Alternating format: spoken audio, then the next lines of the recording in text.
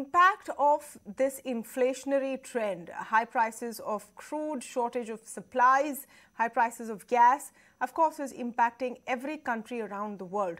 But the Sri Lankan economy seems to be very badly hit. It's going through some of its worst days. Uh, just about Two decades ago, the nation was expected to overtake India in terms of development. It is now struggling for basic supplies.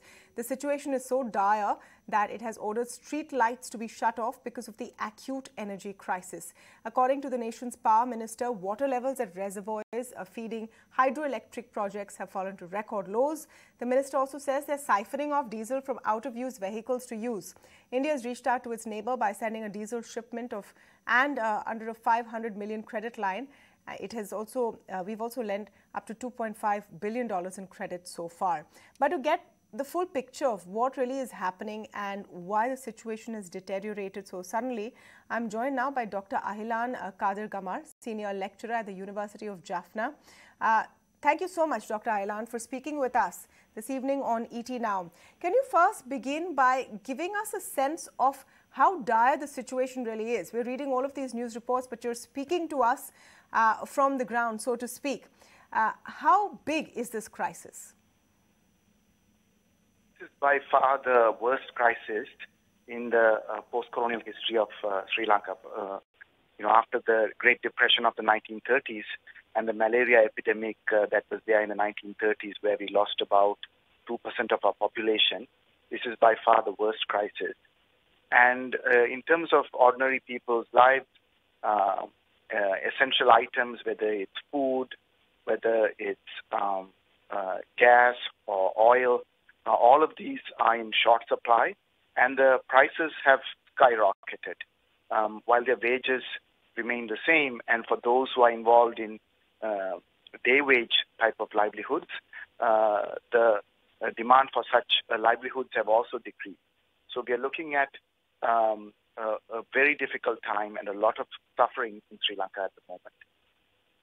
Tahilan, we're reading reports that there is a shortage of money to import medicines.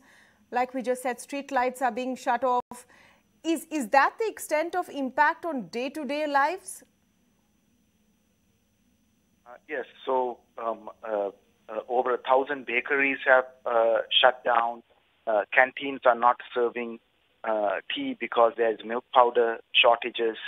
Uh, so it's uh, a crisis like one that people haven't seen in their uh, lifetime. And um, essential items, now if you take uh, rice, for example, compared to six months ago, the price of rice, which is our staple, has gone up by 80%.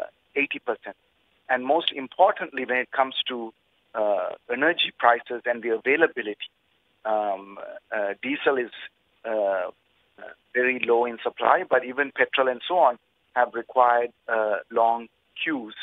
So even transport is disrupted, and when transport is disrupted, all the other uh, goods get uh, affected as well. Can you tell us the reason? I mean, very broadly, uh, what we understand is this um, has become worse. The situation became worse with COVID. Uh, I'm sure the inflationary shocks because of what's happening in Ukraine and Russia is not helping. But is that the genesis of this entire unraveling of the economy? It's a much more uh, long, drawn out uh, crisis. Our debt stock has been increasing over the last uh, decade. Uh, we've been uh, we have a large trade deficit, and we had been bridging that trade deficit to uh, tourism incomes and foreign remittances of migrants going and working in the Middle East.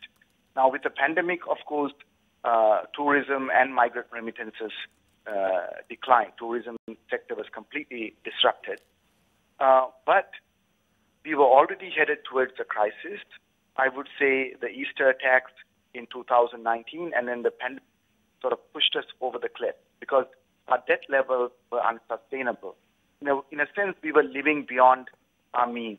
We were uh, importing uh, uh, luxurious items, but we did not have the export earnings and the foreign reserve to meet those expenses. Now, two years ago, it was amply clear uh, when the pandemic hit that we could end up in a situation like what we are now, but the government took no steps to uh, address it. they could have prioritized imports, the essential items such as uh, oil, uh, foods, pharmaceuticals, and saved some of that foreign reserves. Even today, when you go to the supermarket, they are stacked with uh, imported chocolates and all other forms of uh, luxury goods. So there was no planning to meet uh, what was inevitable uh, crisis. You know, I just I just want to stress upon this point once again, Dr. Ahilan. Is the general sense there now that this dire situation is in a large part due to just pure economic mismanagement by the government of the day? This has been the uh, policy of successive governments. Sri Lanka was the first country in South Asia to go through liberalization back in 1977. Uh, our policies were all encouraging imports and liberalization, and were, the productive sectors were not developed. Uh, during the war, the agencies of the government was addressing uh, the impact of the war and, and, and fighting the war against the LTTE. But in the post-war years, now the war ended 13 years ago, and during that period, we borrowed a lot and invested in infrastructure, in the beautification of Colombo, and importing goods. And, and successive governments that followed this policy, and every time a crisis came, they went to the IMF, they, they got a bailout, and they continued to increase the debt stock. So this mm. crisis was inevitable from uh, a number of governments.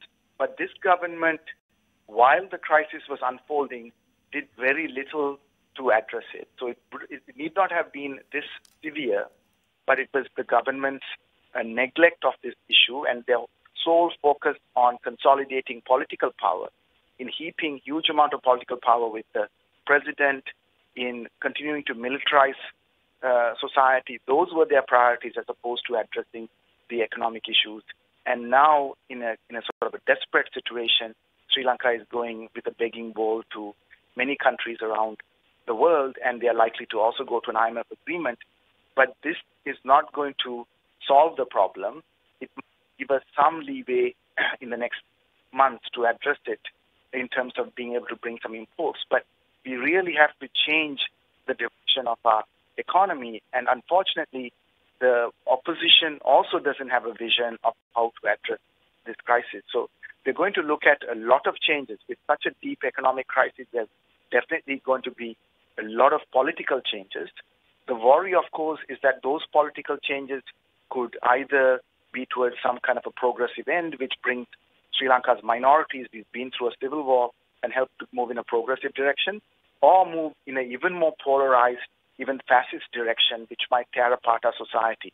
So Sri Lanka is really at its crossroads, and at the heart of it is this economic crisis uh, that we're dealing with. Dr. Ahilan, I want to thank you deeply for taking out the time, speaking to us, and telling us your story and what your beautiful nation is going through. We all wish you well, and I'm sure Sri Lanka will overcome these rough times as well. Thank you once again. Dr. Ahilan there talking about the massive crisis that the Sri Lankan economy is going through.